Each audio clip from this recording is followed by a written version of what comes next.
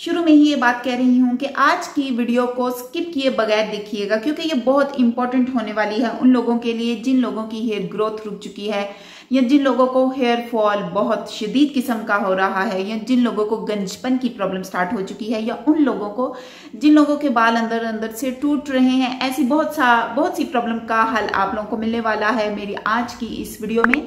तो जल्दी से वीडियो को लाइक सब्सक्राइब और शेयर करके बने रहे वीडियो में। Aslam welcome back to my channel कैसे हैं आप सब? आप सब मज़े में होंगे। आज की वीडियो में मैं D I Y hair serum आप लोगों के लिए लेकर आई हूँ। सबसे पहले ये बता दूँ कि वो बालों की टिप्स में अप्लाई नहीं करना। वो सिर्फ़ स्कैल्प में अप्लाई करना है, जो कि घर पर ही बनाकर आप इजीली नेचुरल वे में उसे यूज़ कर सकते हैं।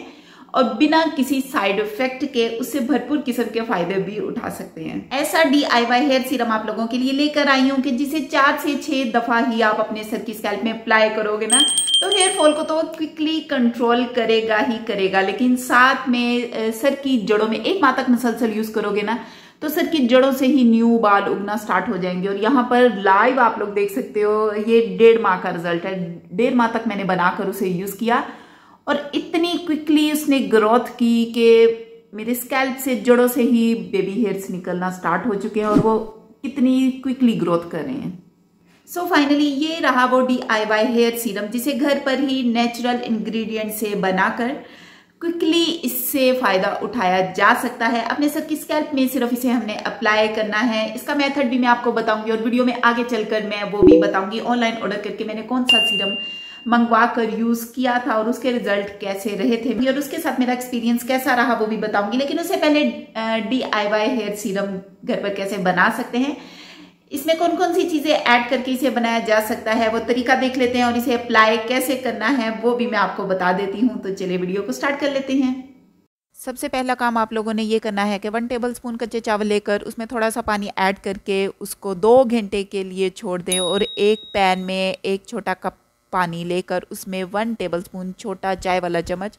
कलौजी का ऐड करें। अब यहाँ पर यह है मेथड़े और ये है मेथी दाना। मेथी दाना मैं इसमें ऐड करूँगी, वो भी भरकर छोटा चाय वाला चम्मच नहीं डालना, थोड़ी कम अमाउंट में ही ऐड करके इसको हल्का हल्के थोड़ी थोड़ी देर बाद वक्फे वक्फे से मिक्स करते जाना है और इसको अच्छी तरह पकाना है। इतना पकाना है कि पक कर दो से तीन टेबल स्पून ये पानी रह जाए और इसे स्टेन कर लेना है। अब यहाँ पर सीरम को बनाना स्टार्ट करते हैं क्योंकि वो वो चीज़ें हमारे पास अवेलेबल हो चुकी हैं जो कि इस सीरम में ऐड होंगी। छोटा चाय वाला चम्मच टू टेबल स्पून भरकर मार्केट वाला एलोवेरा जेल लेंगे। इसे पहले मिक्सअप कर लेंगे और उसके बाद जो क्लौजी और मेथी दाने का पानी पकाया था, वो वन वन टेबल स्पून करके ऐड करते जाएँगे और इसको मिक्सअप करते जाएँगे। यकदम एक साथ ही ऐड नहीं करना, क्योंकि ऐसे मिक्सिंग में मुश्किल होगी।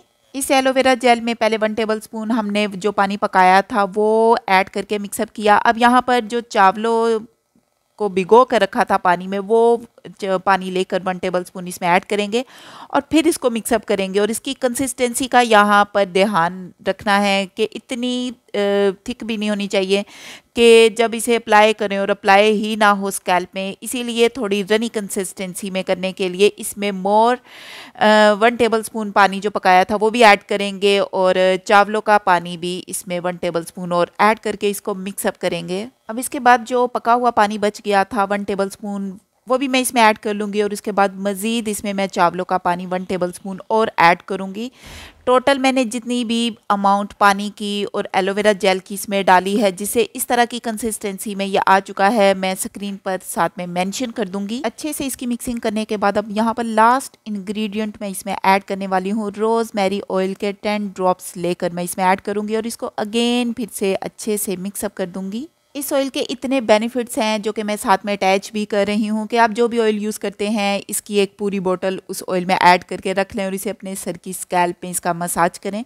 और इतने मैजिकल रिज़ल्ट आप लोगों को अपने हेयर्स में नज़र आएँगे। तो खैर, यहाँ पर अच्छे से मिक्सिंग करने के बाद सीरम बनकर रेडी हो चुका है और इसकी कंसिस्टेंसी देखें। अगर आप अपनी मर्ज़ी से थोड़ी और रनी कंसिस्टेंसी में करना चाहते हैं तो इसमें और डिटॉक्स वाटर जो पकाया था वो ऐड कर सकते हैं या चावलों का पानी ऐड करके थोड़ी लिक्विड कंसिस्टेंसी में ला सकते हैं। अब मैं इसे एक ड्रॉपर फॉर्म की बॉटल में ट्रांसफ़र कर लूँगी। और इसकी शेल्फ लाइफ इतनी है कि जब तक आप इसे यूज़ करते रहोगे मतलब कि जब तक ये ख़त्म नहीं हो जाएगा, ये ख़राब बिल्कुल भी नहीं होगा, क्योंकि इसमें कोई भी ऐसी चीज़ें ऐड ही नहीं की गई।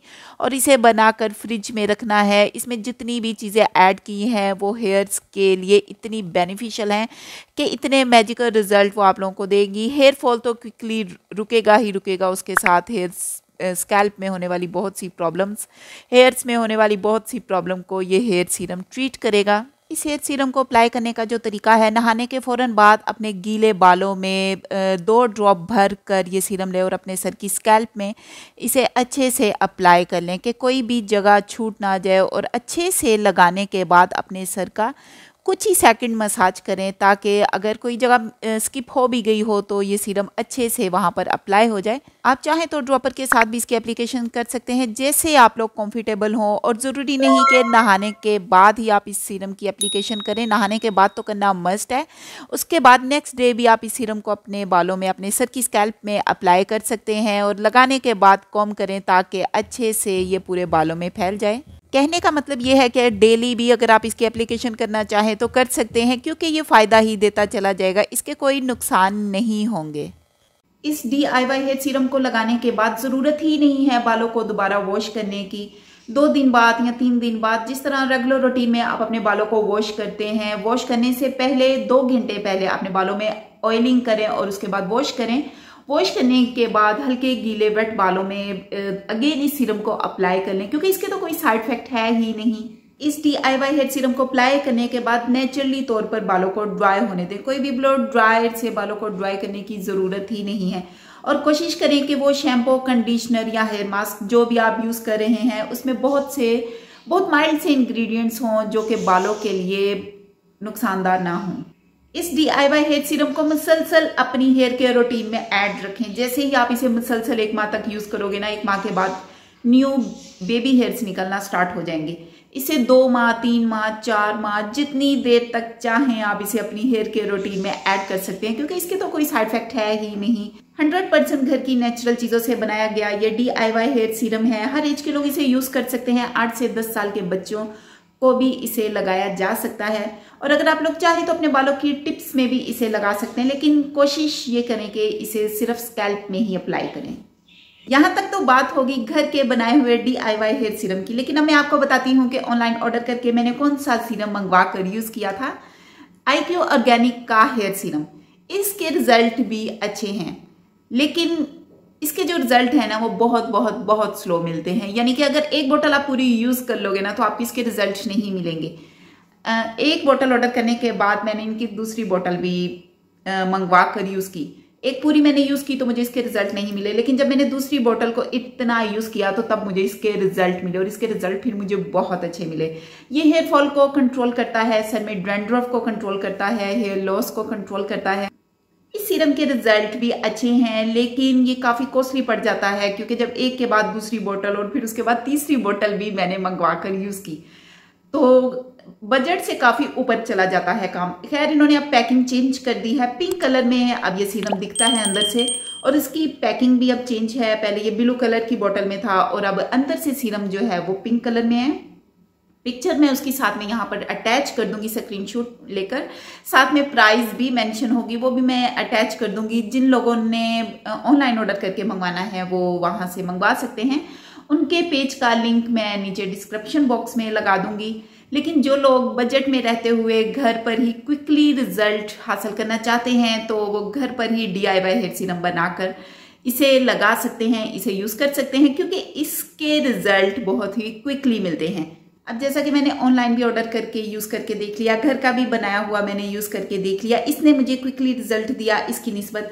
इसीलिए, हालाँकि मैं इसे सेल में बाय करती रही हूँ, जब भी आई ऑर्गेनिक वालों की सेल लगती थी तो तब ही मैं सीरम बाय कर लेती थी। तो ये कि जो इन्होंने अब पैकिंग चेंज की है फॉर्मूला सेम वही है, लेकिन सिर्फ़ पैकिंग चेंज है, बाकी हर चीज़ वही है।